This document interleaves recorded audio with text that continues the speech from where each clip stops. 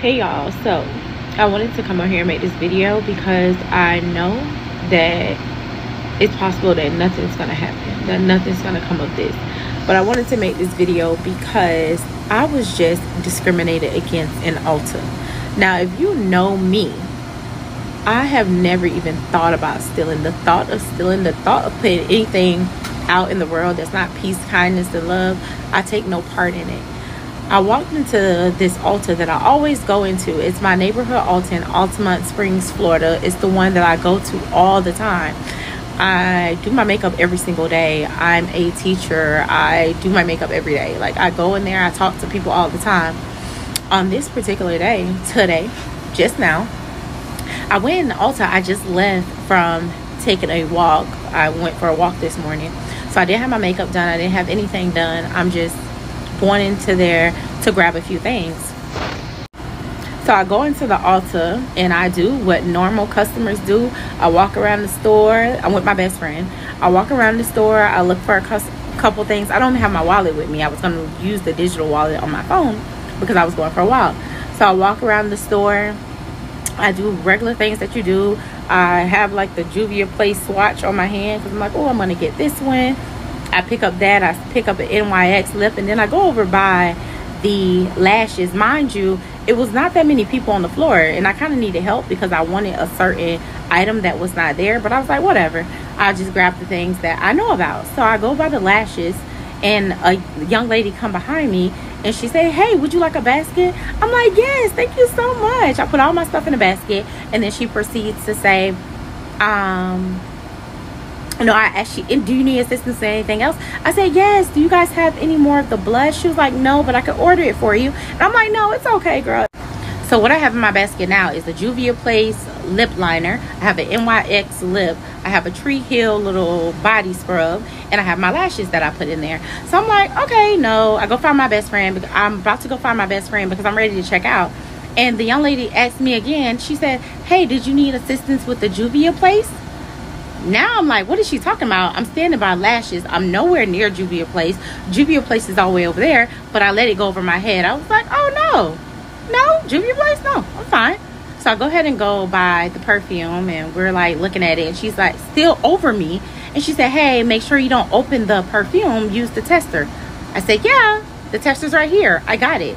So now I'm like, what is wrong with this lady? I'm walking to check out with my best friend. My best friend only have a Tree Hut, me a Tree Hut um, body scrub, and this is the second time the lady asked her. She said, "Hey, did you need a basket?" So now my best friend's annoyed, and she's like, "No, I don't need a basket. I only have." one. So she's like, "No, I don't need a basket. I only have one item. Can you stop asking me if I need a basket? Like I only have one item."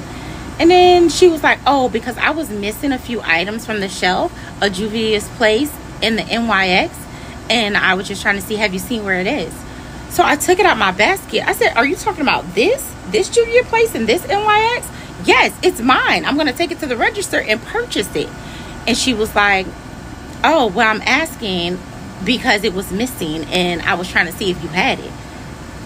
So I'm like, Did you ask anyone else? Did they see it? Because this one is mine. I'm going to purchase this. What do you mean you're missing an item and you're trying to see if I have it? Of course I have these items because I'm going to purchase them. So I'm like, okay, now I feel harassed. So my friend takes out her phone and she's recording like, is this harassment in real time? We've never been harassed ever. So we were so shocked. When my best friend started recording, the young lady proceeded to say, Oh, yes, my name is Denise and I'm the experience manager and do not report me. Um, and then she said, Oh, I do not give you consent to report me. I feel attacked, call the police. She told the young lady to call the police. So the young lady get on the phone, she's calling the police. And just from my natural response, I literally started praying for this lady because I saw that there had to be some type of hurt. There had to be some type of need for healing. So I pray over her. I'm like, God, give her joy, give her peace. I'm just praying over her because she, I am so shook so she goes on to say, Yes, I feel attacked because you are recording me. And I said, And I feel attacked because you harassed me. I have a video that I'm going to post because I have to post the video because the police came. And do you know what happened when the police came? We could have left before the police got there, but I wanted to stay. One, because I'm not a thief. My best friend and I, we waited for the police to get there. When the police got there, I had a conversation with the police before he even went into the Ulta. I'm like, I'm so happy you're here. Let me explain to you what happened. I'm so confused. I don't know what's happening. And he was, he heard our side of the story. I told him we just came into the store. We walked around the store like normal customers. We picked up the items that we wanted. And before we made it to the register, we got into this conversation with this experience manager who was asking us about missing items that she was looking for and I'm just like, and then we, you know, just left the store. But now you're here and we're talking to you. So he went inside and spoke with her and he came back out and he was like, Hey, so this is situation. She pretty much told me the same story you told me, but it seems like you guys have an altercation. So we have to trespass you. He took out his phone, took a picture of me, and told me that I was trespassed. Go to the Ulta up the street and just don't come back to this one. What? Oh my gosh. Like I was so hurt. My heart was hurt. Listen when I tell you this. I've never stolen anything in my life. The thought of stealing never comes up in my mind.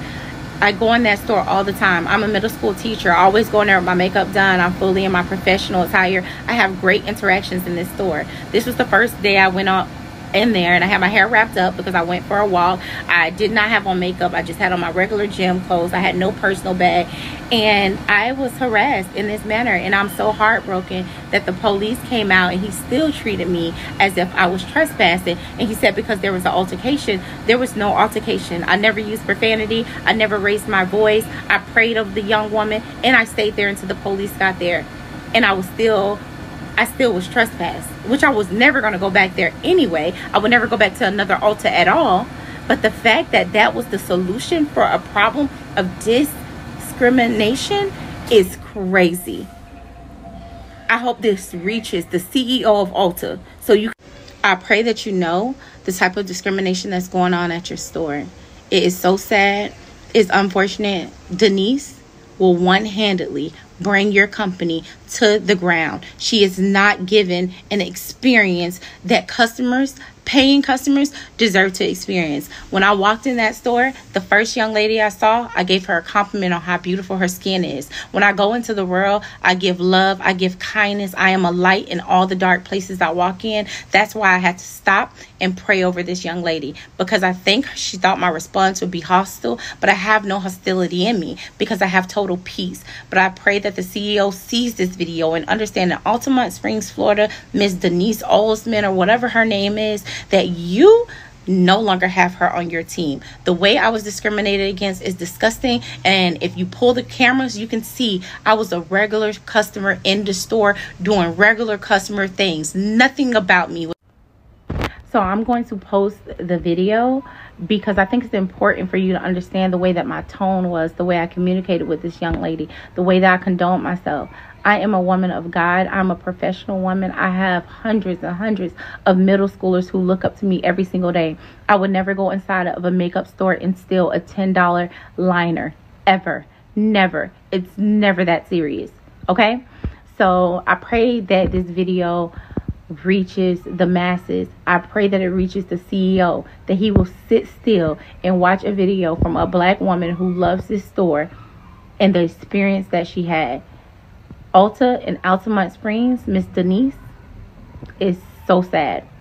All the employees that were there, they sat there and watched like they were mute, like their voices were stolen from them.